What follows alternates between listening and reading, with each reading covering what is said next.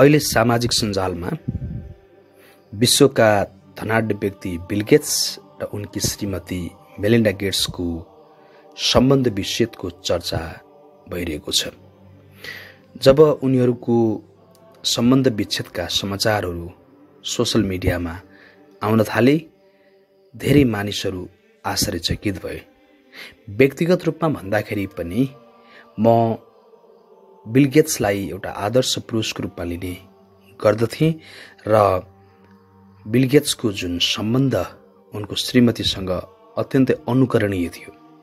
तर पनि यो समाचारले म जस्ता लाखौँ करोडौँ व्यक्तिलाई दुखी तुलाएको छ। उनको यो खबरबाट हामीले दैनिक जीवनमा केही कुराहरू सिक्न सक्छौँ भन्ने विषयमा म चर्चा गर्नका लागि आज उपस्थित भएको छु। मानव जीवनको दुईवटा संसार हुन्छ। एउटा बाह्य संसार र अर्को आन्तरिक संसार। संसारमा सफल भएका व्यक्तिहरू बाह्य संसारमा सफल भएका होलान् तर यसको अर्थ उनीहरू आन्तरिक संसारमा सफल नै हुन्छन् भन्ने छैन। बाह्य संसारबाट हामीलाई खुसी प्राप्त हुँदैन बाह्य संसारबाट हामीलाई आनन्द प्रदान हुँदैन र बाह्य संसारबाट हामी स्वतन्त्रताको महसुस गर्न सक्दैनौँ। यसो हेर्दै गर्दा बिलगेट्स र मेलिना गेट्स बाह्य संसारमा जति सफल देखिएका छन् त्यति सफलता आन्तरिक संसारमा थिएनन् कि भन्ने प्रतीत हुन्छ।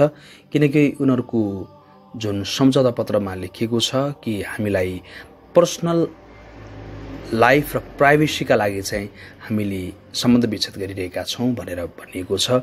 कसरी त्यो पर्सनल लाइफ भएन कसरी प्राइभेसी भएन भन्ने विषय अत्यन्तै सोचनीय विषय बनेको छ र त्यो भन्दै गर्दा हामी त्यति बेला वास्तविक रूपमा सफल बन्न सक्छौँ जति बेला हाम्रो बाह्य संसार आन्तरिक संसार सन्तुलित हुन्छ ब्यालेन्स्ड हुन्छ।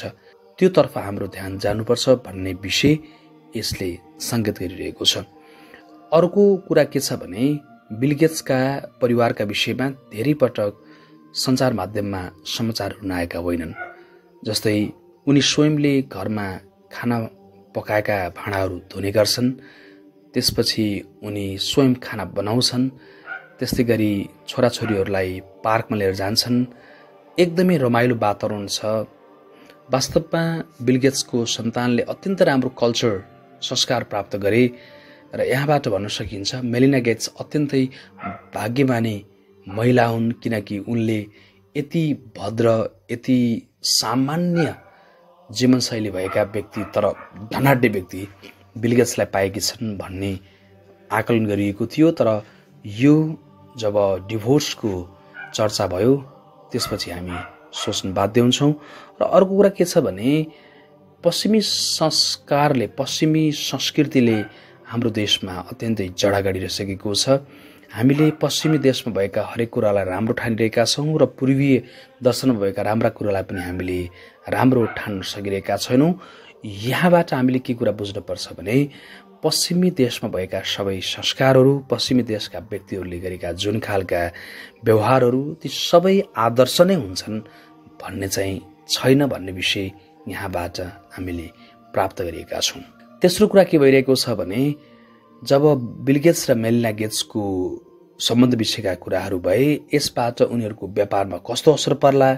उनीहरूको जुन एउटा अभियान चालेका थिए एउटा ट्रस्ट थियो त्यसमा कस्तो असर पर्ला भन्ने विषयमा मान्छेले चर्चा परिचर्चा गरिरहेको वर्तमान अवस्थामा म के भन्न चाहन्छु भने उनीहरूको व्यापारमा चाहिँ कुनै खालको असर पर्ने छैन।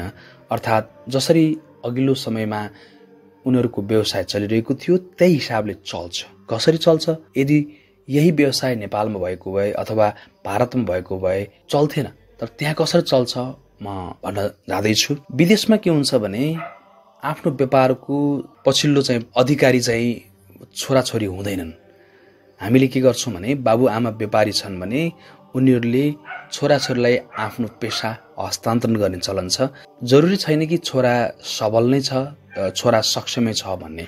तर विदेशमा के हुन्छ भने छोराछोरीलाई हस्तान्तरण गर्नुको सट्टा चाहिँ आफ्नो व्यवसायमा एउटा दक्ष विषय विज्ञलाई हायर गर्ने गरिन्छ। यदि तपाईँले हेर्नुभयो भने माइक्रोसफ्टमा होस् अथवा गुगलमा होस् अथवा अन्य कुनै बहुप्रतिष्ठित संस्थाहरूमा यदि तपाईँले हेर्नुभयो भने त्यहाँको फाउन्डर्सले आफ्नो सन्तानलाई आफ्नो आफन्तलाई प्रवेश गराउनुको सट्टा एउटा विषय विज्ञलाई प्रवेश गराएका हुन्छन् र यो कारणले पनि उनीहरूको व्यवसायमा कुनै खालको असर पर्ला भन्ने चाहिँ लाग्दैन। तर जुन ट्रस्टमा उनीहरू दुईजनै छन् मेलिना गेट्स र बिल गेट्स त्यो बेलामा चाहिँ असर पर्न सक्छ भन्न चाहन्छु। तसर्थ यहाँबाट हामीले के कुरा बुझ्न सक्छौँ भने बाह्य संसारलाई मात्र होइन हामीले आन्तरिक संसारलाई पनि हेर्नुपर्छ। हामीले काम गर्दै गर्दाखेरि हाम्रो माइन्ड अथवा ब्रेनको थ्रु होइन कि हामीले केही समय हाम्रो माइन्डका लागि हाम्रो इन्टेलेक्टका लागि चाहिँ खर्चिनुपर्छ भन्ने विषय यहाँबाट जानकारी हुन्छ भने दोस्रो विषय के हुन्छ भन्दा विदेशी संस्कार सबै कुरा राम्रा हुन् भन्ने चाहिँ छैन। हामीले सकिन्छ भने पूर्वीय दर्शन जो अत्यन्तै सबल र सक्षम छ सनातन धर्मबाट आएका ती कुराहरू जुन वैज्ञानिक छन् ती कुराहरूलाई आत्मसात गर्दै गयौँ भने हाम्रो जीवन सफल बन्छ भन्ने विषय पनि यहाँबाट हामीले प्राप्त गर्न सक्छौँ। र त्यस्तै गरी अर्को कुरा यदि हामीले व्यवसाय गरिरहेका छौँ व्यापार गरिरहेका छौँ भने त्यसमा सन्ततिलाई हस्तान्तरण गर्ने भन्दा पनि एउटा विषय विज्ञ व्यक्तिलाई हस्तान्तरण गर्दा राम्रो हुन्छ भन्ने विषय यहाँबाट हामीले प्राप्त गर्न सक्छौँ। भन्दै आजलाई यति नै। हस्त धन्यवाद नमस्कार। Thank you so much